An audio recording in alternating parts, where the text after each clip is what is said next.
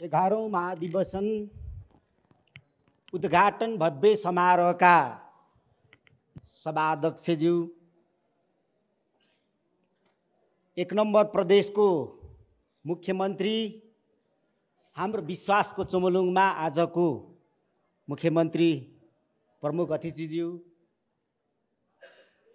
मञ्चमा आसन ग्रहण गरिराख्नुभएका सम्पूर्ण विशिष्ट व्यक्ति व्यक्तित्वहरू।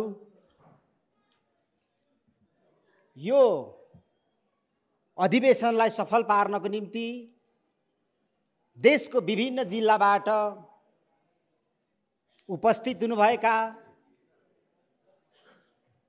देशबाट मात्रै होइन विदेशबाट पनि उपस्थित हुनुभएका सम्पूर्ण अग्रजहरू सहपाठीहरू र प्यारा प्यारा भाइ बहिनीहरू जो यहाँ सहभागी हुनुभएको छ सहभागी नभएर पनि हाम्रो विभिन्न माध्यमबाट सञ्चार माध्यमबाट तपाईँहरूले देश विदेशमा बसेर हेरिराख्नु भएको छ। किराँती गैर किराँती सबै जनसमुदायप्रति हार्दिक न्यानो अभिवादन म व्यक्त गर्न चाहन्छु। आज यो समारोहमा राष्ट्रिय अन्तर्राष्ट्रिय क्षेत्रमा ख्याति प्राप्त व्यक्ति व्यक्तित्वहरूलाई जनङ्गे सम्बोधन गरेर मन हलुङ्गो बनाउनु मलाई मन थियो तर समय हामीसँग छैन। समय र जिन्दगी भनेको कस्तो चिज रहेछ? डोकोभरि पैसा बोकेर सुपर मार्केट गइयो भने पनि किन्न पाइँदैन रहेछ। यो कुरालाई हेक्का राख्दै म आफ्नो संक्षिप्त भनाइ अगाडि सार्ने अनुमति चाहन्छु। दाजुभाइ तथा दिदीबहिनीहरू सर्वप्रथम त म यो भव्य समारोहबाट उद्घाटित एघारौँ महाधिवेशन सफल होस्। आउने नेतृत्वलाई म बधाई पनि दिन चाहन्छु। आफ्नो उद्देश्यप्रति अविचल आउने टिमले यो संस्थालाई गन्तव्यसम्म पुर्याउनुहोस् भन्ने शुभकामना पनि म व्यक्त गर्न चाहन्छु। अब आफ्नो कुनै पनि सङ्घ संस्थाको आफ्नो उद्देश्य हुन्छ त्यसको आफ्नो लक्ष्य हुन्छ। हामीले हाम्रो यो साझा संस्थाबाट साझा मानव हितको कुरा उठाउँ। आफ्नो अधिकारको कुरा गर्दाखेरि अर्काको सरोकारहरूमाथि ठेस पर्ने कुरा हामी कोही नगरौँ। हाम्रो धरातलीय यथार्थलाई बुझौँ। हाम्रो मान सम्मान हामीले आत्मसम्मान खोजिरहँदा अर्काको आत्मसम्मानमाथि हामीले ठेस नपुऱ्याउँ। हाम्रो देशको सामाजिक बनोटलाई पनि हामीले ख्याल गर्नु सकिएन भने झगडा गरेर मूर्खहरूले प्राप्त गर्दै गरेको चिज पनि अझै हरा हराउँछ। विद्वानहरूले सल्लाह गरेर नप्राप्त नगर्ने चिज पनि प्राप्त गर्छ भन्ने गौतम बुद्धले भन्नुभएको छ। त्यस कारणले हामीले अलिक बढी नै छलफल परामर्श सम्मेलन गोलमेज सम्मेलनहरू मार्फत हामीले हाम्रो उद्देश्यहरू चुन्नको निम्ति विभिन्न टुल्सहरू हामीले प्रयोग गर्न सक्नुपर्छ भन्ने कुरा पनि म राख्न चाहन्छु। अर्को कुरा जुन पृथ्वीमा जनावरको कुरा गरौँ जुनसुकै पशु पक्षीको कुरा गरौँ अर्काप्रति अहिष्णु ज अहिष्णुता जसले राख्छ त्यो जङ्गली जनावर पनि बिस्तारै मासिँदै गइराखेको छ। संसारबाट आज बाघ किन लोप हुँदैछ? बाघले कहिले पनि अर्को जनावरलाई मित्र बनाउँदैन भोजन बनाउँछ। त्यस कारणले हामीले सहिष्णुता राख्नुपर्छ भनेर मैले उदाहरण मात्रै दिएको हो। आज हामी सारा हाम्रो विचार हाम्रो संस्कृति अझै यसो भनौँ हाम्रो राजनीतिक विदेशबाट हामी सिक्ने गर्छौँ। हाम्रो मौलिक पहिचानहरू हामीले गुमाइसकेका छौँ। गम्भीरताका साथ यहाँहरूलाई भन्न चाहन्छु हाम्रो आमाले पकाउने वाचिपा आज हामीले बिर्सिसकेका छौँ। ठुला ठुला फाइभ स्टार होटलहरूमा चिकन बिरयानीको रूपमा आइसकेको छ। हामीले हाम्रो आमाले पकाएको चाम्रे खेतको डिलमा बसेर रोपाइँमा हामी खान्थ्यौँ। जो आज पुलौमा परिणत भएको छ भुटी भातहरू आज फ्राई राइसमा परिवर्तन भएको छ। हाम्रो बोजूहरूले पकाउने जाँड चेलीहरूले पकाउने जाँड आज बियर र वाइनमा परिणत भइसकेको छ। रक्सी त कति हो कति भर्जनमा निस्किसकेको छ। हामीले यसलाई किन समयअनुसार रूपान्तरण गर्न सकेनौँ विश्व बजारमा लान सकेनौँ? यसको पछाडि धेरै ठुलो अर्थ छ। यो अर्थ म यो छोटो समयमा यहाँ म व्यक्त गर्न सक्दिनँ तर यो विषयतिर अलिक हामी गम्भीर हुनुपर्छ भन्ने मलाई लाग्दछ। विकासको नीति आज हामीले विदेशी फोटोकपी गरिराखेका छौँ। शिक्षाको नीति आज हामीले विदेशी फोटोकपी गरिराखेका छौँ। हामीले त्यति मात्रै होइन स्वास्थ्य नीति फोटोकपी गरिराखेका छौँ। हाम्रो आमाहरूले हामीलाई हिजो घाँटी दुख्दाखेरि ऐसेलुको मुन्टा खात नानी भनेर भन्थ्यो। ऐसेलुको मुन्टाले हाम्रो शरीर आज चिन्नु छोडेको छ। सिटामोल मात्रै हाम्रो शरीरले चिन्न थालेको छ। आज हामीले हाम्रो परम्परा पहिचान र त्यो पहिचानभित्र हुर्किँदै आएको विज्ञानलाई हामीले बिर्सिएका छौँ। विज्ञानको कुरा गर्छौँ तर हाम्रो संस्कृतिलाई वैज्ञानिकरण गर्न सकिराखेका छैन। एउटै बन्दुकको नालबाट छुटेको एउटा बुलेटले एक सुता तल र माथि हुँदाखेरि डेस्टिनेसनमा हजार मिटर तल माथि पर्ने गर्दछ। सानो अन्तरले हामीले आज सानो कुरा चुकाउँदाखेरि भविष्यमा हाम्रो सन्तानहरू त्यो क्षितिजको गन्तव्यमा पुग्दाखेरि धेरै तलमाथि भइसकेको हुनेछ। हामीले त्यतिखेर चुक चुकाउनु बाहेक अर्को हामीसँग कुनै सम्भावना रहने छैन। त्यसो भएको हुनाले आज विकासको नाममा दुई सय वर्षको बाजेले रोपेको बराजुले रोपेको पिपलको झाङहरू डोजरले ढलिराखेको छ। हाम्रो मूल पानीमाथि डोजर घुमाएर कम्पन दिएर पृथ्वीलाई हाम्रो जरुवा ढुङ्गे धाराहरू सुकिराखेको छ। आज हामी सहरको नक्कल गर्दाखेरि सिट्टामोल खाने हेल्प पोस्टहरूलाई सिलुको काँडाले पुरिराखेको छ। हिजो हाम्रो चेलीहरू भारी बिसाएर गट्टी खेल्ने चौतारा आज जङ्गलले पुरिएको छ। सडक गाडीको नाममा आज हामी कहाँ पुगेका छौँ? हाम्रा भोकहरूले आज मकै भट्टमा छैन चाउचाउ माग्न थालेको छ। हाम्रो तिर्खाहरूले हाम्रो घरमै पारेको मही होइन। हाम्रो आमाहरूले छानेको जाँड र सरुवा होइन कोको कोला मागिराखेको छ। गम्भीर विमर्श गर्ने बिन्दुमा हामी आज उभिराखेका छौँ। विश्वको विश्व मानवसँग हामीले विज्ञानमा प्रतिस्पर्धा गर्नको निम्ति धेरै विषयहरूमाथि हामीले मन्थन गरेर जानुपर्नेछ। यो आउने भावी पुस्ताको निम्ति म गम्भीर ध्यान आकर्षण गराउन चाहन्छु।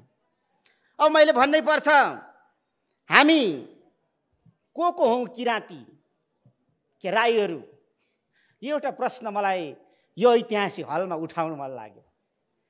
हामी अनुहारले राई हामी रगतले राई इतिहासले राई संस्कृतिले राई केले राई हो हामी? जिन्दगीभरि आफ्नो मुक्तिको निम्ति कलम चलाउने सङ्घर्ष गर्ने पनि राई। जिन्दगीभरि अधिकारको निम्ति कसैको झोले बनेर बाटो छेक्ने पनि राई। को को हो राई? राई चाहिँ को को हो? किराँत राई यायोखा एउटा संस्था हो। यसको एउटा उद्देश्य छ। तर यो सङ्घर्षरत छ भने हामीले अब विचारमा राई छुट्याउनु पर्ने बेला आएको छ। कुनै एउटा नस्लिए परम्परामा नस्लिए एउटा इतिहासमा अनुहारमा हामीले राई खोज्न थाल्यौँ भने राई नै पनि त प्रतिगामी छ। राई नै पनि त हाम्रो बाटो छेक्दैछ। त्यस कारणले गर्दाखेरि हामी को को हो राई को को राई होइन जसले अग्रगामी विचारको प्रतित्व गर्छ त्यो मात्रै यो संस्थाको नेतृत्व हुनसक्छ र हाम्रो समुदायको नेता हुनसक्छ भनेर अलिकति हामीले रेखा विभाजन गर्नुपर्ने बेला आइसकेको। दाजुभाइ तथा दिदीबहिनीहरू समावेशी आयोगले हाम्रो अधिकारमाथि डन्डा चलाएको छ। एक थरी सारा आदिवासी जनजातिहरूलाई यो कुरा थाहै छैन। विचार अहिले पनि जङ्गलदेखि अलिकति गाउँमा मात्रै निक्लेको छ। हामी जान्ने बुझ्नेहरू राजनीतिको झोले भएका छौँ। हामी बोल्दैनौँ। हामीलाई हाम्रो राजनीतिक पार्टीले हाई डोजको एन्टिबायोटिक दिएको छ हामीलाई बोल्नै दिँदैन कारवाही गरिदिइहाल्छ। हाम्रो तकमा र पद जान्छ। तकमा र पदको माया गर्ने मान्छे नेता पनि हुन सक्दैन। आफ्नो समुदायको निम्ति आफ्नो देशको निम्ति जनताको निम्ति जुवा खेल्न पर्छ भने पनि छाती ठोकेर आफ्नो पदको जुवा खेल्ने नेता हामीलाई चाहिएको छ आज। कसैको चाकडी गर्ने नेता हामीलाई चाहिएको छैन आज। चाकडी गरेर धनुष्टङ्कार गरेर शास्त्रको दण्डवट गरेर आफ्नो मुक्ति र अधिकारको कुरा मालिकलाई बुझाएर हामी कस्तो खालको कठपुतली नेता खोजिराखेका छौँ र बनिराखेका छौँ? गम्भीर विमर्श होस् यो बन्द सत्रभित्र। अन्यथा हामीले पनि प्रश्न उठाउनु पर्ने हुन्छ बाहिरबाट।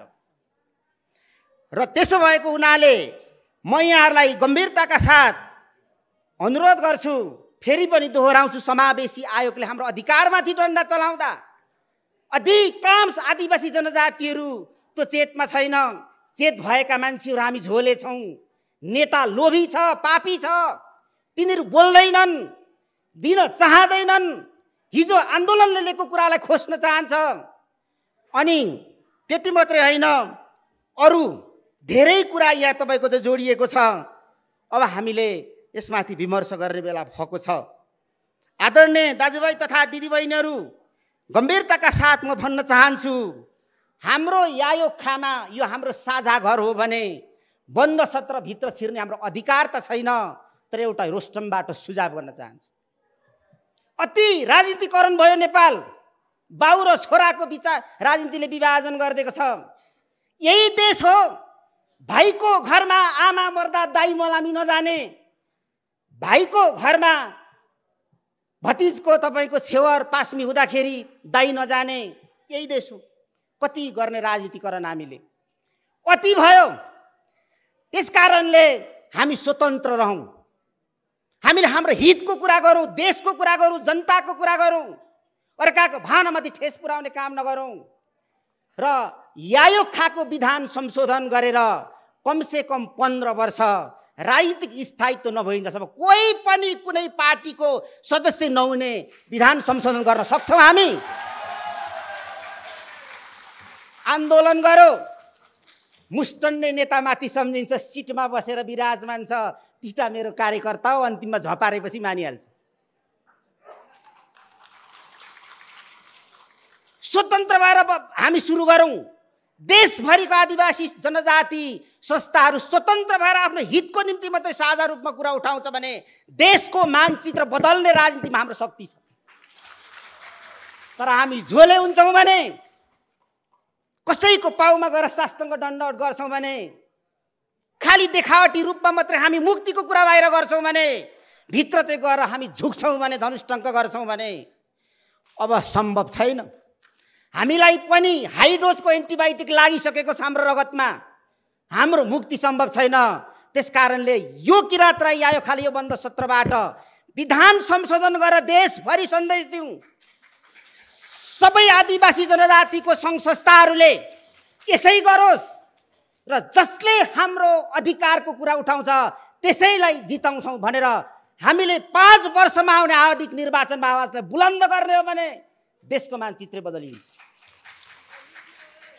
हामी त्यो वैधानिक शान्तिपूर्ण विवेक प्रयोग गर्ने ठाउँमा यतिका लामो सङ्घर्षले आइपुगेका छौँ। यतापट्टि म गम्भीर ध्यान आकर्षण यहाँहरूसँग गर्न चाहन्छु। अब मैले फेरि अन्तिममा भनौँ यहाँ समय छैन। यो समयलाई हामीले जे गरेर पनि रोक्न सक्दैनौँ। हाम्रो मुख्यमन्त्री अरू अतिथिहरूको पनि कुरा सुन्नु छ। तपाईँहरूले भविष्यको आफ्नो इतिहासलाई बाट शिक्षा लिँदै भविष्यको मा रेखाचित्र कोर्नको निम्ति वर्था वर्तमानमा धरातीले यथार्थमा टेक्नै पर्छ। अन्यथा हामी पनि इतिहासको पानामा एउटा मिथ बनेर एउटा कथा बनेर बाँच्न विवश हुन्छौँ। सफलताको शुभकामना। हस् धन्यवाद। नमस्कार।